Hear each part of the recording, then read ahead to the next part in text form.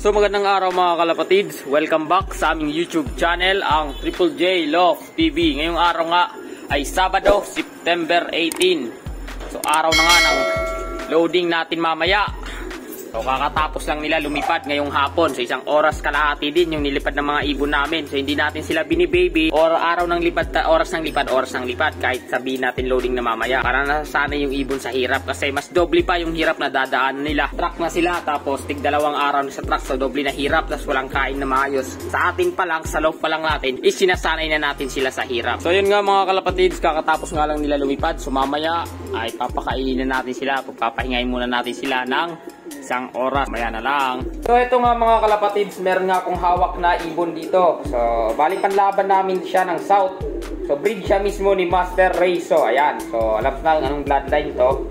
So lahi siya ng mga tukay niya ng North. Ngayon yung mga itim niya. Kasi meron siya, ah, nagtutukoy siya ng itim lalo na pagka North. Kasi ayun niya yung mga sa pambato niya sa tukay. Ayan.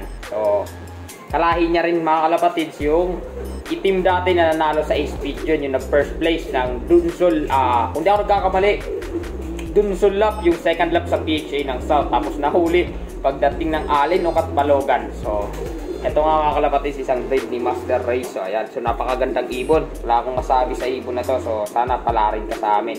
Kasi nga, si Bossing nga, is walang swerte sa itim. So, ang dami na namin nilipad na itim. So, wala. Walang may dumudulo. Ah, may, may dumulo na kami. Ah, nagtakloban noong 2017. Pero, hindi rin nanalo mga kalapatid. Isa lang binutas ng ibon na yon. Final lap lang din. So, ayun lang ginagawa naming breeders dito. Baka sakaling sumamba. So, na lang. Magpapakain na tayo ng mga breeders na ah, mga panlaban natin sa PHA, yung mga South. Ah, North pala, North. Sorry, nagkakamali ako. So, hirap pala mag-vlog pagka hindi mo sinasaulo yung mga sasabihin mo, mga instant, in, mga bigla lang. So, mamaya lang mga kalapatid. So, bago tayo magpakain ng mga flyers natin mga kalapatid, so, natuwa lang ako sa mga panlaban namin sa South. So, ayan na, sila. ayan na pala sila mga kalapatid. So, hindi ko napapansin kasi hindi ko pa gaano sila nahihipo. Ayan. So, makikinis na nga sila. So, nawala yung full sibling nito mga kalapatid, MMFC. Yung sing-sing hindi ko alam kung nawala or sumalpok kasi isang araw na lang nagpapa-ranging kami kasi hindi na siya bumalik. Eto pa yung isang pula mga kalapatid na sinasabi ko. Nagagawa at gagawa talaga ako ng paraan para lang makapaglaban kami ng pula. Ayan. So hindi to alam ni Boss Anson na nag-breed nga ako ng pula. So sinabi ko na lang na anak, nakita niya na lang, nakita na nga lang na may pula na kami. Nagtataka ba't may, ba't may daw may pula. So dinahilan ko na lang yung sing-sing na yung bakal sa inner ng sing-sing.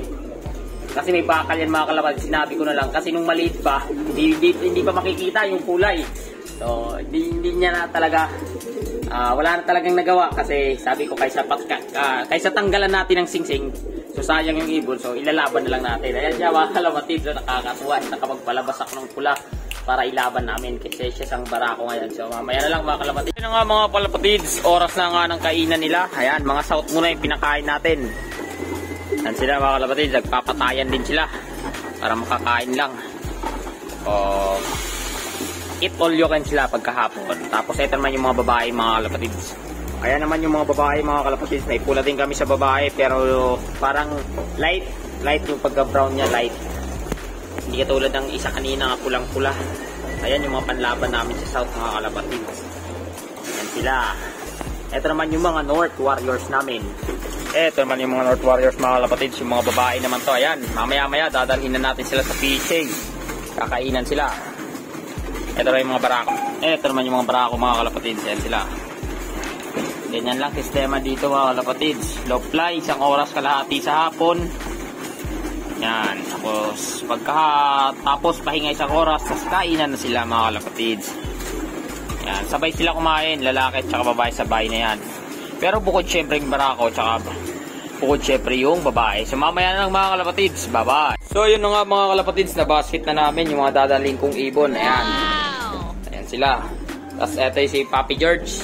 Tanungin muna natin. Mga kalapatid, ito palang blue bar. Oo, oo. Oo, oo, pwede na yun. Ganun. Oo, di uho. Eh, di ko nga marunong yun. Pwede yun. Eh, Testing di lang. ko nga alam eh. Ha? Di ko nga alam. Oo. Oo nga, oo. Eh, Ay. blue bar, oo. oo. Oo. Dahil mga kalapatid. Di uho. Tiga, tiga, tiga, tiga. Isa lang, isa lang. Yan na lang.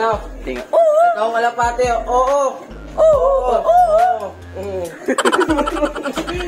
Sabi na bakit na Mama George. Ayun yung iba. Ayan mga kalapatids, ito yung mga ibon ni Boss Ray. So ayan, may mga grizzle, may itim. Kayong nakikita. Tapos ito pa yung iba. Ayan, ang ganda oh. Ang daming itim. Napapansin nyo, ito pa yung iba.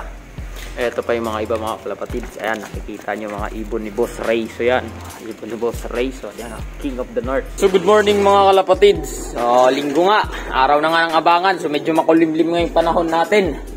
So late na nabitawan yung ibon. Uh, oras na nabitawan yung ibon is 8.25 na sa PHA. So kapas Tarlac kami around 90 kilometers mula dito sa amin. So expected time natin ni neto siguro mga isang oras 20 minutos. So mag-aabang tayo mga 9.35 or hindi ako nagkakamali 20, uh, 9.30 baka may ibon na kami yan. So ito pala yung mga panlaban namin sa south.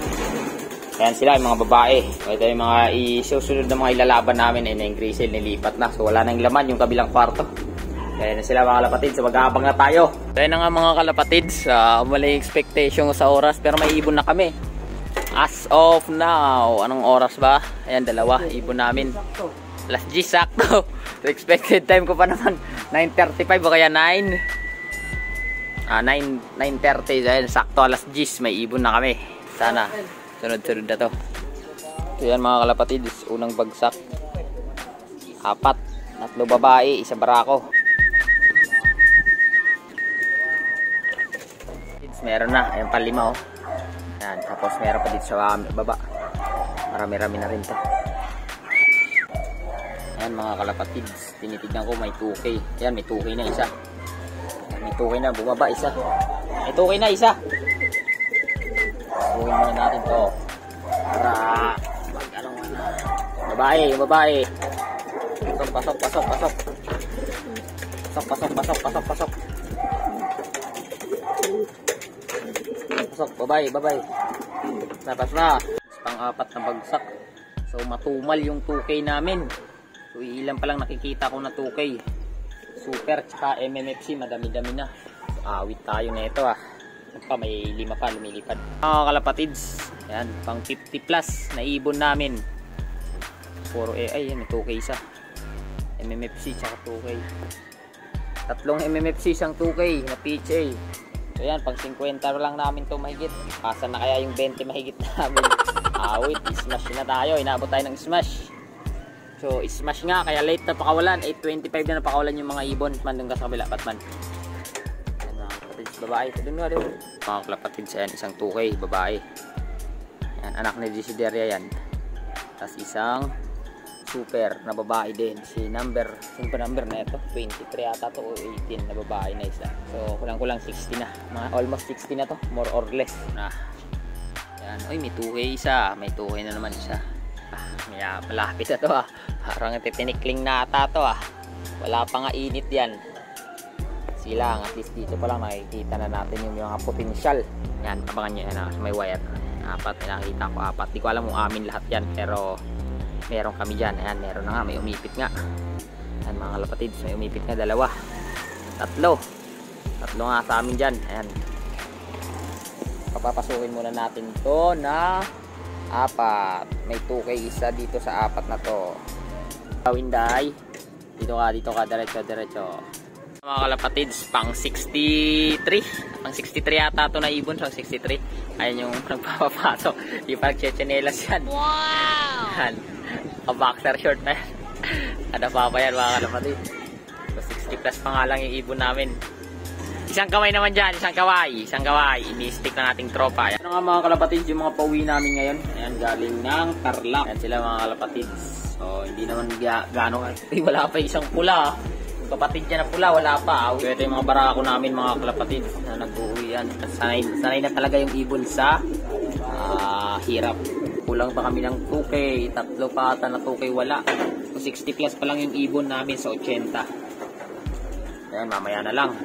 So ayan na nga mga kalapatids, ito na yung uh, mga nagdatingan namin ibon galing ng Tarlac. So medyo nagpahirapan. Kahit paano at least kulang na lang kami dalawa. So sa dalawa, so yung kulang na dito sa babae yung pula. Kung napapansin nyo yung mabait na pula na lagi kong na naipapakita sa mga video natin yung mabait na pula ayun yung kulang sayang so, sana kung makahuli man Kasi man makawali sa amin, ibalik nyo na lang yun. Nakakareran lang namin sayang kasi yun. Si Pula. Tapos ito yung mga barako naman. Pabubuksan pa lang. Ayan, galing ng Tarlac yan. Ayan, ito yung mga barako naman namin. Ayan. So, galing ng training yan. So, gutom na gutom nga mga yan mga kalapatid. Tapos pagod. So, papakainin muna natin sila. Shoutout pala kay Bob Abay, kay Sir Louis David, kay Nestor Jan Marino, kay Kimis Love, kay Boss Mike, kay Nathaniel at Chico na nasa Japan. Ingat kayo dyan, pre. Ah, shoutout din kay Simon Calagos, sa tagabigay ng alimango namin. Shoutout din sa ating editor si Jojo Colibar sa mga sumusunod. Ayan. Shoutout din kay Frederick Matro. So, dito na tatapusin ng ating video mga kalapatids. Keep safe everyone. So, dalawa pa kulang namin. Ah, alas 11 na.